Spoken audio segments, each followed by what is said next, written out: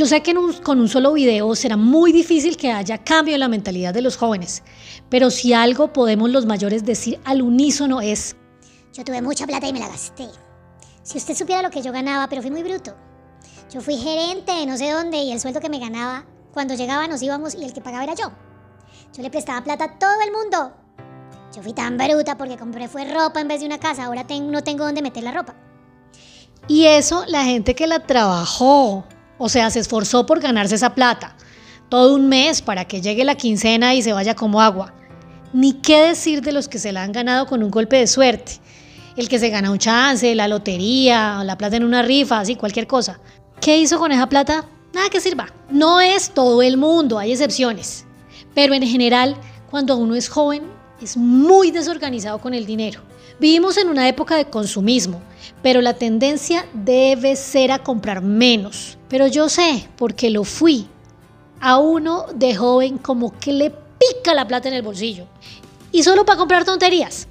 Como inicié este video, reitero, Difícil es que haga mella, pero para que usted se dé cuenta de que yo tengo razón, mis palabras no le van a ser suficientes.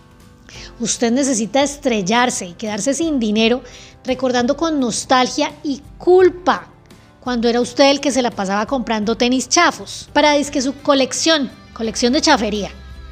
No sobra decir que ahorre, claro que sí, si puede ahorre, debe hacerlo.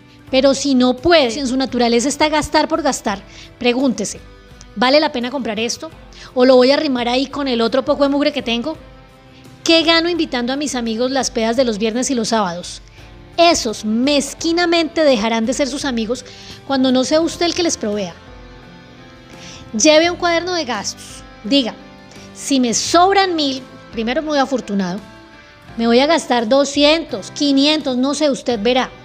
Y aférrese a esa meta.